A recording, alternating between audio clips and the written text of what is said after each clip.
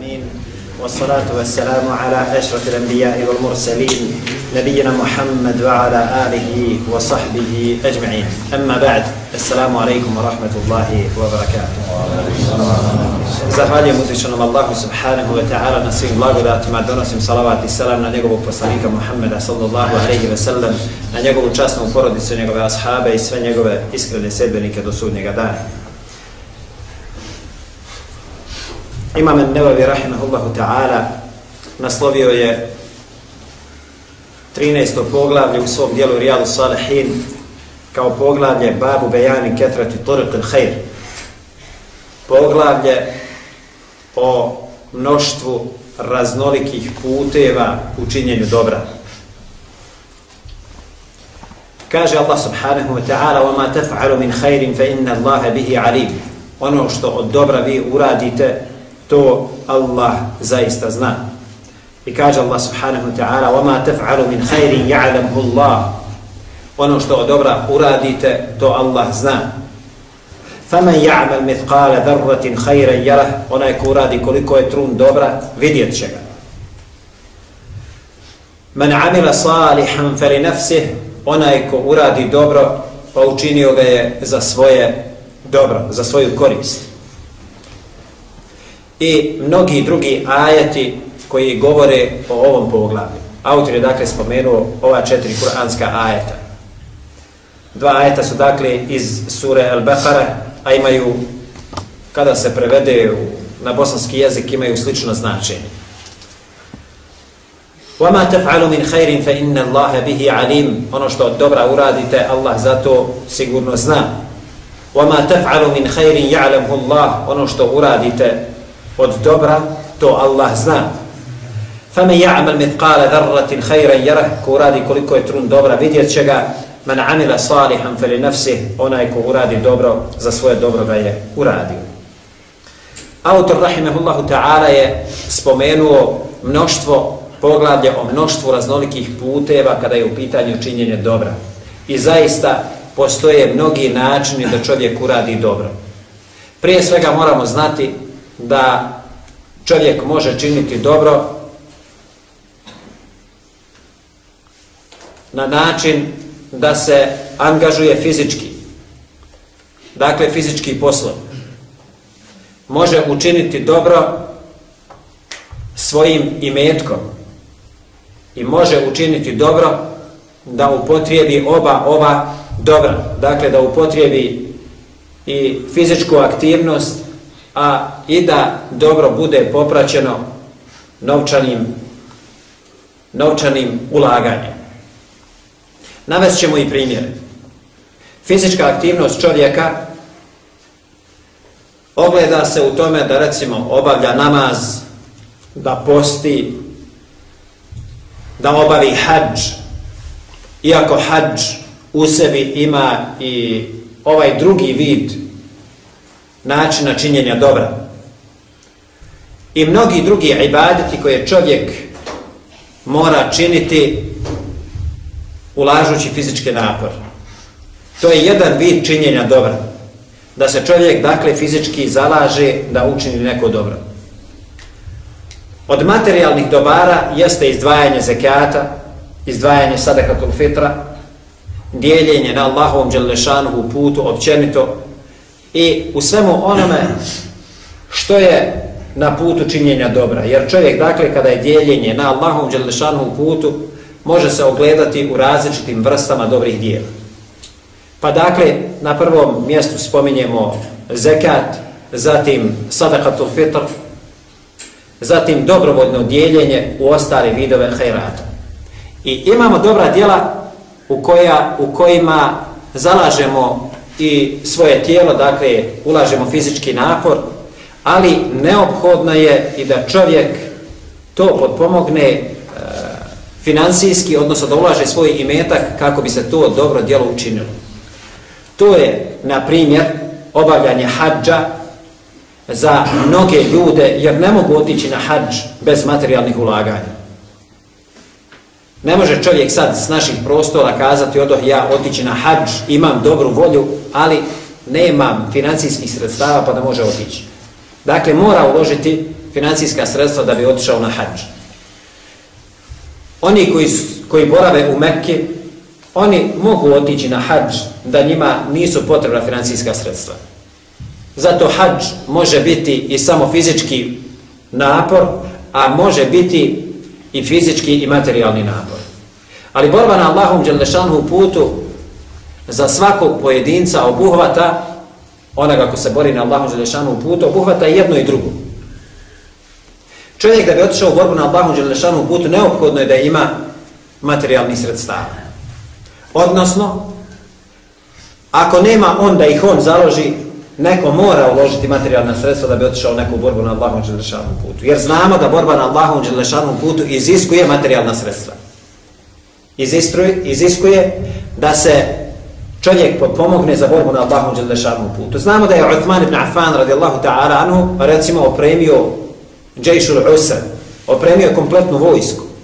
Bilo je onih koji nisu mogli, spominjali smo to kako to Allah Đelešanu opisuje, vraćali su se tawallaw a'yunuhum tafidu min ad-dam'i hazanan alla yajidu ma yunfiqun. Vraćali su se suznih očiju zbog toga što nisu imali šta da podijele.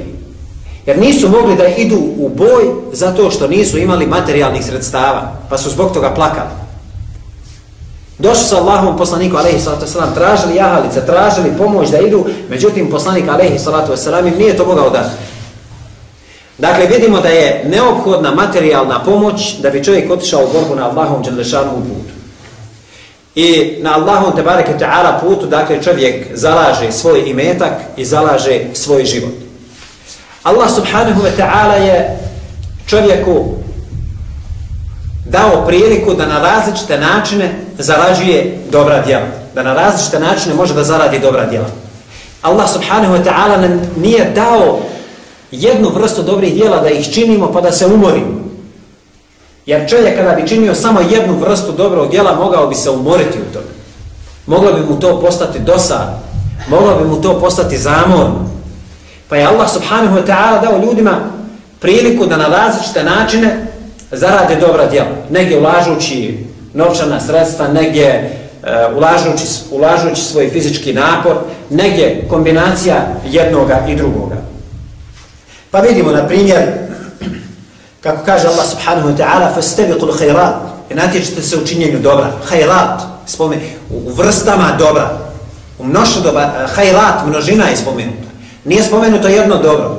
Što je pokazatelj da ima više načina za činjenje dobra, pa Allah subhanahu wa ta'ala dakle čovjeku ostavio priliku da na različite načine zarađuje dobra djela kod uzvišenog Allaha subhanahu wa ta'ala. S obzirom da čovjek može činiti dobra na različite načine. Allah subhanahu wa ta'ala je nekim ljudima omilio obavljanje namaza. I vidite ih kako su u namazu skrušeni, kako namaz potpuno obavljaju, koliko su se posvetili namazu, pa čak noćnom namazu i tako dalje. I Allah subhanahu wa ta'ala mu je omilio obavljanje namaza. Vidite ljude kojima je Allah Đelešanu omilio post pa posti, Davudov post, hvala Allahu subhanahu wa ta'ala i mi smo počašćeni da tu u našem komšilu koji imamo one koji poste Davudov post. Nije Davudov post jedan dan postiti, jedan dan mrsiti. Nešto što se dešavalo u prijašnjim generacijama. Hvala Allahu Đelešanu, imamo ljude na našim prostorima koji praktikuju ovu vrstu posta. Jedan dan poste, a jedan dan mrsi. Zatim Allah subhanahu wa ta'ala nekim ljudima umili učenje Kur'ana. I vidite ih da se stalno druže sa Allahom Đalešanu knjigom. knjigu. Vidite ih u mesčedu, dođu ranije na namaz pa uče Kur'an. Vidite ih da ostanu iza namaza pa uče Kur'an. Vidite ih naveče u svojim kućama uče Kur'an. Vidite ih da, da se konstantno druže s Kur'anom. Kada sjednete s njima u auto, slušaju Kur'an. Kada im dođete kući, u kući slušate Kur'an. Gdje god se krećete, vidite da se ljudi druže puno sa Kur'anom. Allah subhanahu wa ta'ala im je omilio tu vrstu ibadeta i puno se trude kada je u pitanju učenja Allahove tebareke ta'ala knjige. Allah subhanahu wa ta'ala je nekome omilio dijeljenje na njegovom putu. I vidite ga kako konstantno razmišlja gdje može učiniti neko dobro i uvijek dijeli svoj imetak i apsolutno mu nije žao niti teško da udjeli na Allahom tebareke ta'ala putu. Uvijek traži puteve hajra i dijeli. Nekome je Allah subhanahu wa ta'ala omilio recimo brigu o siromasima, nekome o jetimima, nekome brigu o učenicima. I vidite ljude koji se brinu o tome imaju li sva djeca učbenike u školi, vidite, brinu se imaju li, e, ima li neko ko je potencijal nekog muslimana, ko prakticira vjeru, da je u nekom teškom stanju, da mu je potrebna stipendija, pa se brinu oko toga. Allah Želešanu im je omilio brigu, brigu o toj vrsti muslimana, za koje on smatra naravno da su potrebni muslimanima i to je u istinu tako, ali Allah Želešanu mu je omilio tu vrstu ibadeta i on se trudi oko toga. Dakle, Allah subhanahu wa ta'ala je ostavio ljudima prostora da mogu učiniti hajrate na različite načine. I čovjek može da pravi kombinaciju tih hajrata. Možda u određenom trenutku e, da određena vrsta ibadeta čovjek možda postane ponekad i teška. Pod navodnim znacima kažem teška. Ali kada učini neke druge vrste dobrih dijela, to ga uvijek povuče da nastavi sa činjenjem drugih vrsta dijela. Jer vidite kako Allah subhanahu wa ta'ala i svog rahmeta prema nama dao nam je mogućnost da mi možemo, recimo, kroz vidove zikra zaraditi dobra djela. Kroz obavljanje namaza, kroz dijeljenje na Allahu u putu, kroz post e, i druge vrste hajrata. I čovjek kada čini te raznovrsne ibadete, onda se on ne umori, jednostavno ne postane mu monotono, e, monotono činjenje ibadeta. I to je Allahu Đelešanu rahmet prema njegovim, prema njegovim stvorenjima. U današnje vrijeme je posebna vrsta ibadeta neophodna muslimanima.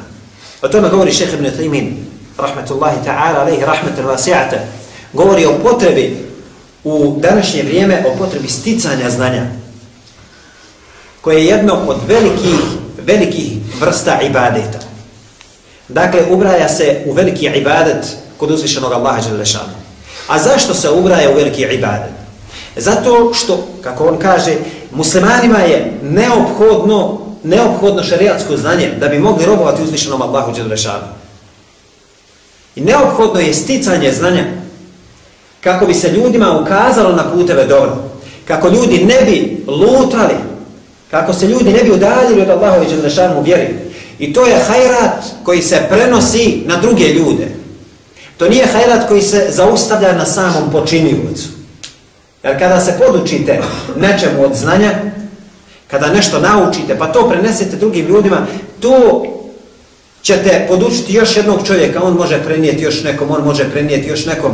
I dakle, taj hajrat koji učinite, on se prenosi na druge ljude.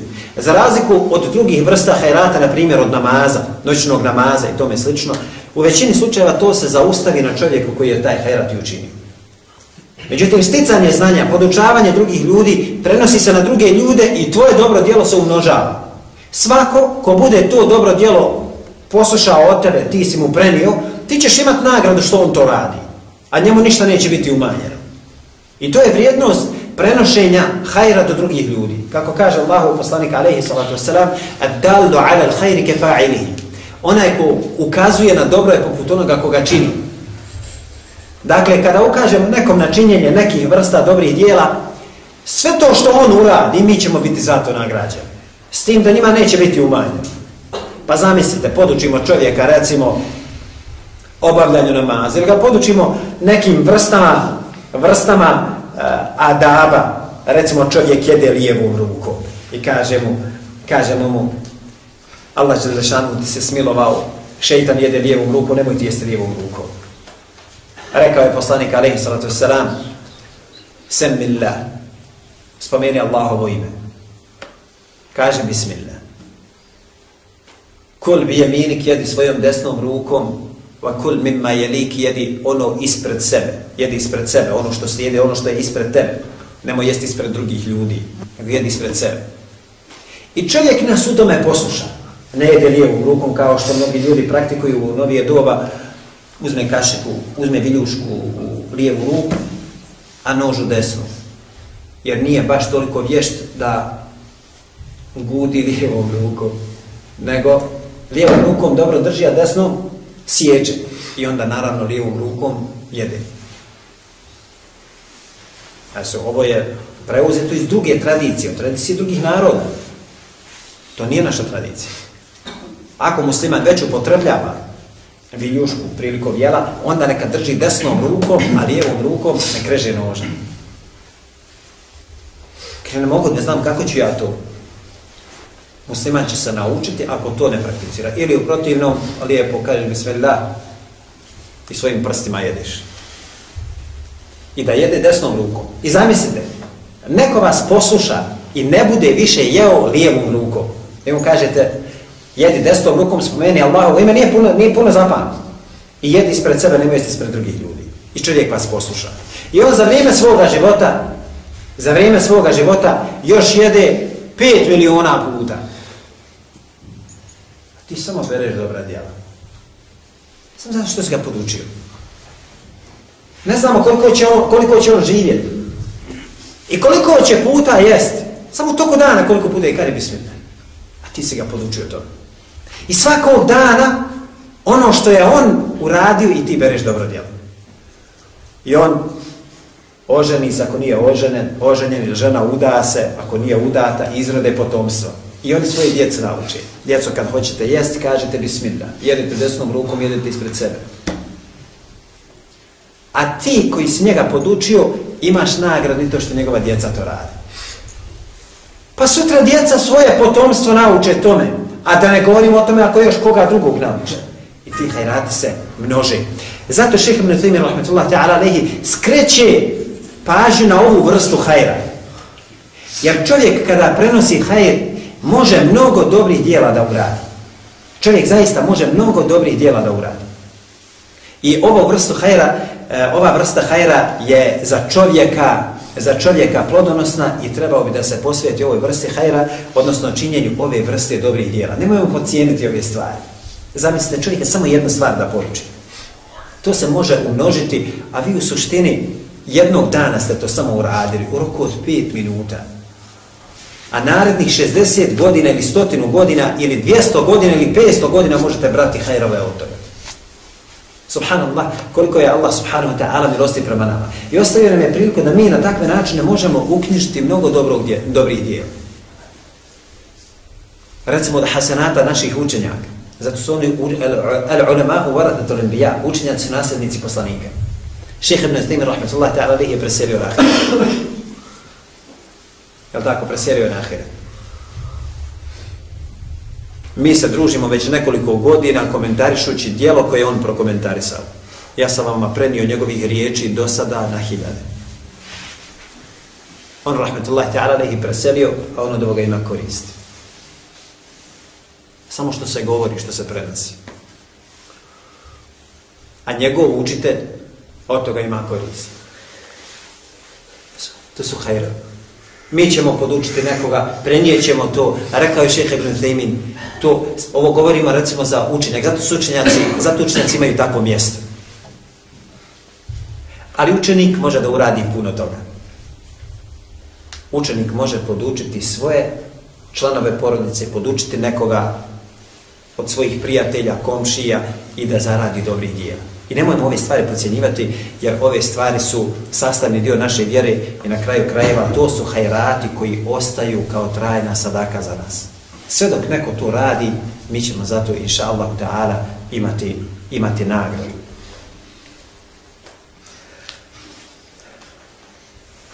Šeha ibn Thaymir, rahmatullahi ta'ala, alaihi je skrenuo pažnju na potrebu sticanja šerijatskog znanja na ispravnim osnovama da se čovjek, da čovjek ne bude smio pod navodnim znacima, da ne bude čovjek smio kada je u pitanju znanja. Pa da čovjek izdaje fetve, pa da on tumači, pa da se uzdiže nad učenjacima i tome slično. Da sebi da za pravo da govori o Allahu Đelešanu, o njegovoj vjeri, ono što nije, što nije istina. Ili da govori o Allahu Đelešanu bez znanja. Na to šejh Ibn Taymi skreće pažnju i zbog toga govori da je nužno sticanje znanja Sticanje šerijatskog znanja, a za sticanje šerijatskog znanja je neophodna strpljivost, upornost i neophodno je vrijeme. To jest da čovjek provede dosta vremena učeći. Subhanallah, juče sam baš bio prisutan, bio sam prisutan e,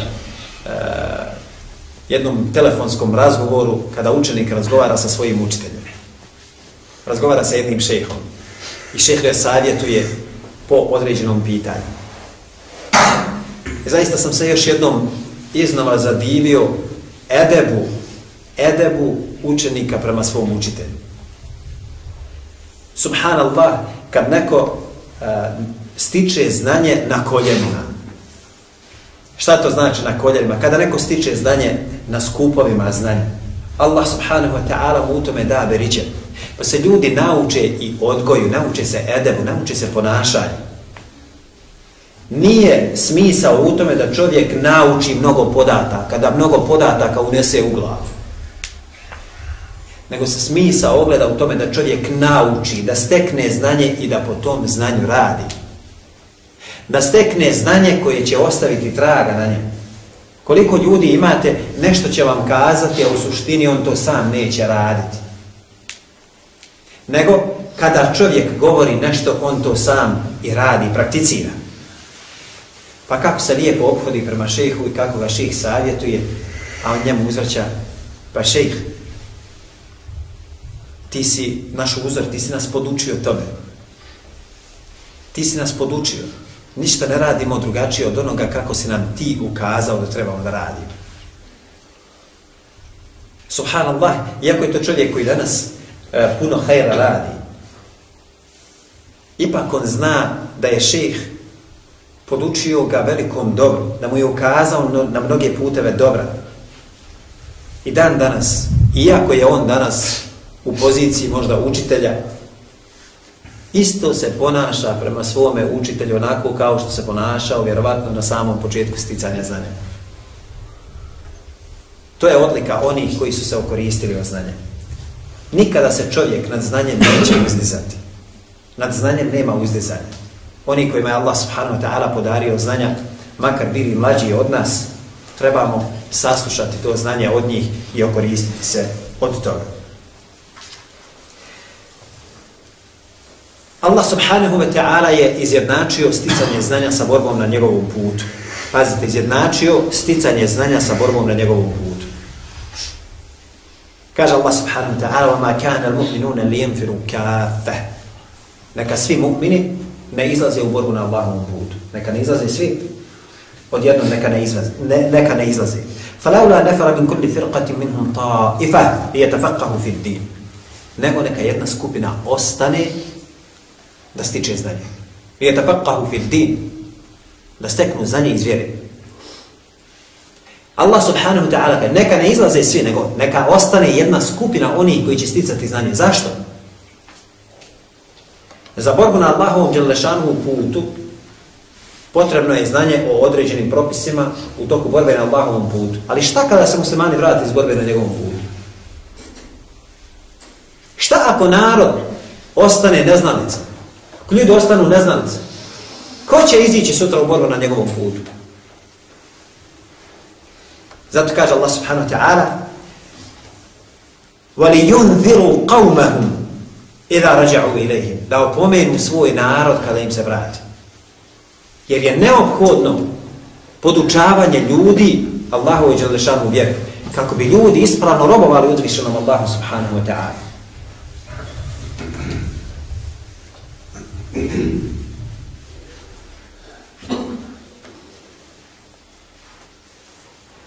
Imam al-Nabavi rahimahullahu ta'ala spomenuo je i nekoliko haditha u ovom pogledu. Spomenuo je hadith Abu Dharra Džunduba ibn Džunadi radijallahu ta'ala anhu koji kaže Kultu ja Rasulallah, ajul a'mali afdal. Rekao sam, kaže Abu Dharra Džundub ibn Džunadi radijallahu ta'ala anhu, rekao sam o Allahu poslaniće, ejul a'mali afdal, koje je najbolje dobro djelo? Kale al imanu billahi wal džihadu fi sabili. Pa je rekao iman u uzvišenog Allaha i borba na njegovom putu. Kultu, ejur rekabe afdal? Pa sam mu pitao, koji robovi su najbolji? Robovi, dakle, e, koje posjeduju ljudi. Kala anfasuha inda ahliha wa aktharuha thamana. Pa je rekao Resul sallallahu alaihi ve sellem, najcijenjeniji kod njihovih vlasnika. Dakle, najcijenjeniji, najpoštovaniji, najbolji kod njihovih vlasnika. I oni koji su najskuplji. Oni koji su najskuplji. Dakle, da je najbolji, da je najposlušniji, da najbolje izvršava svoje obaveze i da je najskuplji. Vidjet ćemo zbog čega je ovo važno, zato naglašava ovo. Kultu, fa illam af'an, a šta kaže ako ja ništa od toga ne uradim? Kale, tu'inu sani'a. Kaže, pomozi drugoga u njegovom, u njegovom poslu. Tu'inu sani'a. Pomozi nekoga u njegovom poslu koji on obavlja. Au tasna'u li ahraq. Ili kaže, uradi, pomozi onoga, pomozi onoga da uradiš dijelo onome koga ne zna uraditi, odnosno nije u mogućnosti da ga završi. Neko je počeo nešto raditi, pa nije u mogućnosti da to završi, to jest ne zna ga završiti. La yutqinuhu. Nije sposoban da ga završi. Počne raditi neki posao i vidite da se on pati, da se muči, da ne može da završi. A vi to možete otkloniti od njega, pomozi mu i to se ubraja, dakle, u dobra djela. Kotu ja Rasulallah. Pa sam rekao, kaže Abu Dhar, Ara'ejte im ba'uftu ala ba'dil amal. Kaže, o Allahu poslaniće, šta ako ne mognem ni neki posao obaviti? Kale, te kufu šarrake anin nas, fa innaha sadaqatun minke ala nefsik. Ovo je rekao Rasul sallallahu alaihi wa sallam, te kufa šarrake anin nas, nemoj činiti zlo ljudima, fa innaha sadaqatun على ala nefsik, jer to je tvoja sadaka, od, to je kao sadaka od tebe. To je kao sadaka od tebe. Jer čovjek da sačuva druge ljude svoga zla, već si učinio dobro. Pazite, da samo sačuvaš ljude svog belaja, svog zla, već si time učinio dobro. Ashabi Allahovog poslanika, alaihi salatu wasalam, su ga ispitivali koje je to najbolje dijelo, koje je dijelo najdraže Allahu Đalmešanu i tome slično. A to su ispitivali kako bi ta dijela činili. To su ispitivali kako bi ta dijela činili. Nisu to ispitivali da bi nekom nešto dokazivali, nego su to baš ispitivali kako bi oni ta dijela učinili. Pa je Budar pitao ovo i bojeći se da neće moći nešto od ovoga spomenutog učiniti, kada šta ako nisam ni to u stanju Allahu poslaniće, pa mu Allahu poslanik, alaihi salatu wasalam, spominje onu za što mu nije potreban nikakav velik trud, fizički napor i tome slično, nego treba samo ljude sačuvati svoga belaja. Pa kaže Ibn Mas'ud radijallahu ta'ala anhu Allahu poslaniku alaihi salatu vesselam, Ejul amali ahabbu ila Allah. Koje djelo je najdraže Allahu sallallahu Pa mu kaže Rasul sallallahu alaihi wasallam salatu ala vaktiha. Namaz na vrijeme. Namaz obavljen na vrijeme. Kultu thumma aj kale birru l-validin. Zatim je upitao, a ko je nakon toga? On mu je rekao, dobročinstvo prema roditeljima. Kultu thumma ej, kala al džihadu fi sabilillah. A nakon toga je rekao, koje slijedi, kaže borba na Allahom Đalešanu putu. Dakle, najdraže Allah Đalešanu djelo je da čovjek obavi namaz u propisano vrijeme, da ga obavi na vrijeme, zatim dobročinstvo prema roditeljima, a zatim borba na Allahom tebareke Ta'ala putu.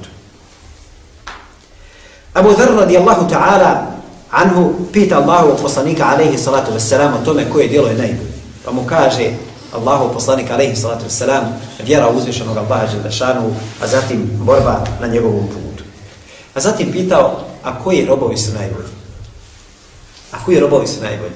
Pa mu Resul sallallahu alaihi ve to pojašnjava. Da se radi o onima koji su najcijenjeniji kod svojih vlasnika. Dakle, najviše ispunjavaju obaveze, najbolji su. Najbolji su. Šta treba s njima uraditi da ih čovjek oslobodi? Zato on pita koji robovi su najbolji za oslobađanje. Onaj koji je najbolji, najcijenjeniji, koji je najskuplji, da tako oslobodiš. To je najbolje djelo. Ne da oslobodiš ono ko neće ništa da radi, ko je najjeftiniji i tome slično. Nego da oslobodi najbolje groba. Pa se Abu Dhr radijallahu ta'ala naravno, ako nema takvih uslova, šta onda? Šta će onda uraditi?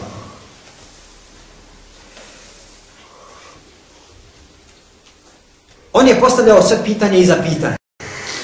Kako bi sve o sve te mogućnosti, kako bi imao preglednost potpunu i kako bi na kraju krajeva vidio i posljednje mogućnosti. Jer Rasul sallallahu alaihi ve sellem u hadithima je e, na kraju znao kazati nešto što čovjek, za što čovjeku ne, postoje, e, ne pravi nikakav napor. Na primjer, ko od vas vidi loše djelo? neka ga ukloni rukom. Pa ako ne može, neka ga ukloni jezikom. Pa ako ne može ni to, ostaje prijezir srcem. Zato ti ne treba ni napor, nećeš biti miljen ako kažeš i ako se usprotiviš, ništa se neće desiti. To je, ali to je najslabiji vid imana. Ostala je zadnja mogućnost, ako nemaš ove prethodne mogućnosti, ostala je zadnja vrsta. I u ovom hadithu Rasul sallallahu alaihi ve sellem kaže Budar, ostala je zadnja mogućnost da druge ljude sačuvaš svoga zla. To će se računati kao sadaka za tebe. Kao da si već sadaku udijelio. A pogledajmo život ashaba radijallahu ta'ala anhum wa ardahum. Len tenalu birra hatta tunfiqu mimma tuhibbun. Vi nećete postići dobro sve dok ne budete dijelili ono što vam je najdraže. Zato je Rasul sallallahu alaihi wa sallam i opisao roba da je najbolji, najbolje osloboditi onog roba koji je najcijenjeniji, koji je najskuplji. Dakle, onaj koji je najbolji.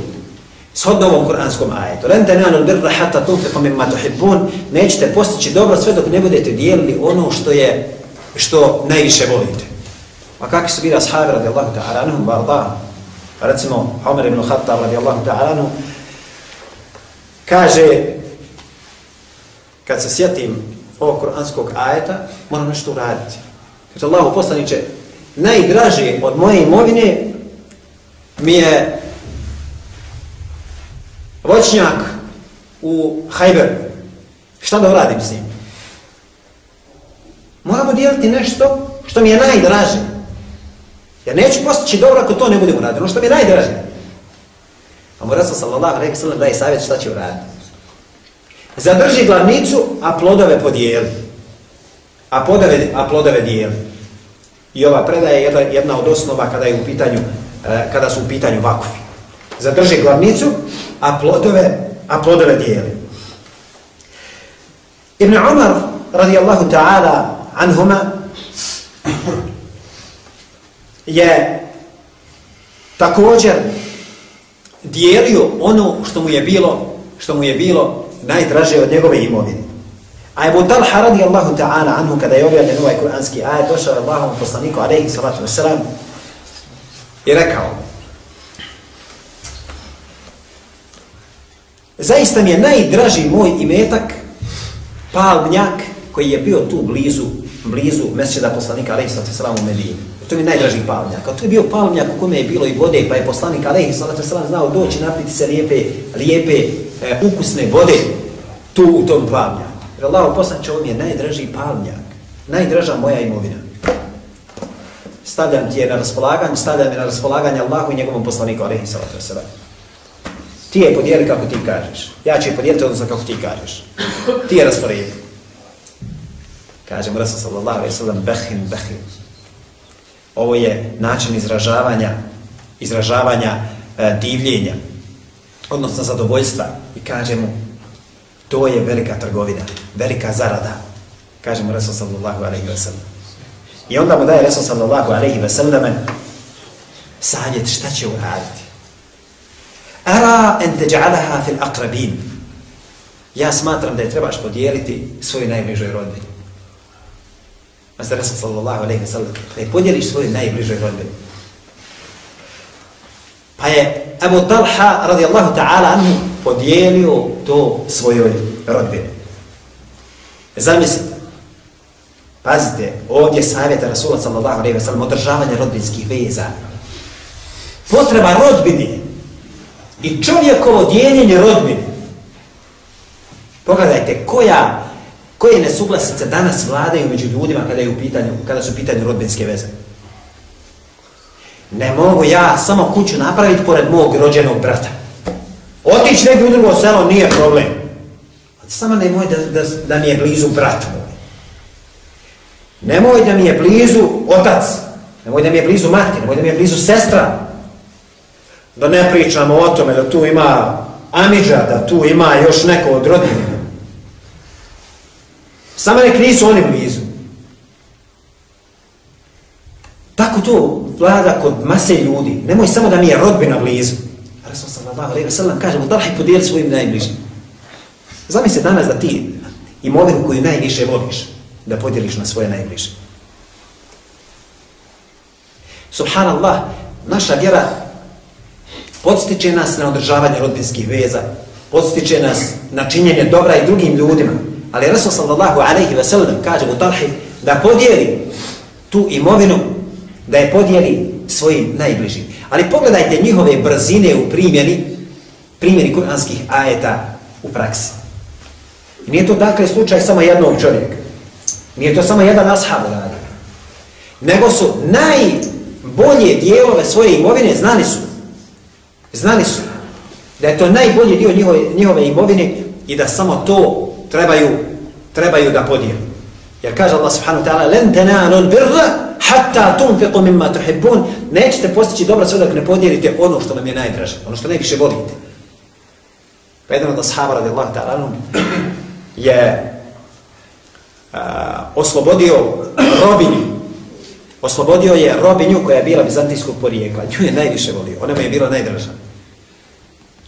I nju je oslobodio radi, radi ovog kuranskog ajeta. Primjene kur, ovog kuranskog ajeta. I kaže, ako bi šta uradio u pogledu nje, ako bi šta u pogledu te robinje uradio, kaže, oženio bi. Toliko mu je bila draga ta robinja i nju je oslobodio radi uzvišenog Allaha subhanahu wa ta'ala samo radi objave ovog kuranskog ajeta. Zamislite koja je to, e, koja je ljubav prema uzvišenom Allahu subhanahu wa ta'ala i koliko je, e, koliko su ashabi radi Allahu ta'ala e, stavljali ove kuranske ajete ispred svojih težnji svoje, i onoga što vole od dunjaluka i njegovih ukrasa. E, ovo nam je naravno jedan od pokazatelja da se u životu trebamo e, da se u životu trebamo dobro organizirati i da se trebamo e, da trebamo žuriti kada je u pitanju činjenje dobra. I nemojmo zaboraviti ovaj kuranski ajet i nemojmo zaboraviti da za vrijeme svoga života moramo udjeliti od onoga što najviše volimo. Nemojmo to zaboraviti. Sahabi radijallahu ta'ala su praktično pokazivali da su od, svoga, od svoje imovine dijelili ono što im je bilo najdraže. Pa malo u životu svome analizirajmo šta nam je to toliko drago, pa ga udjelimo na Allahovom džemlešanu putu. Nadam se, inša Allahu ta'ala, da smo to u mogućnosti i Allah džemlešanu molimo da nas u tome pomogne, da svoj imetak i priviskamo i da vidimo šta nam je od naše imovine drago i šta to mi možemo udjeliti i da u istinu budemo na tragu naših ispravnih prethodnika. Allaha subhanahu wa ta'ala molim da nam grijehe naše oprosti, da nas učvrsti na putu istine, nastavimo u džennetu sa poslanicima, šehidima, iskrenim i dobrim ljudima. وآخر دعوانا أن الحمد لله رب العالمين وسبحانك اللهم وبحمدك أشهد أن لا إله إلا أنت أستغفرك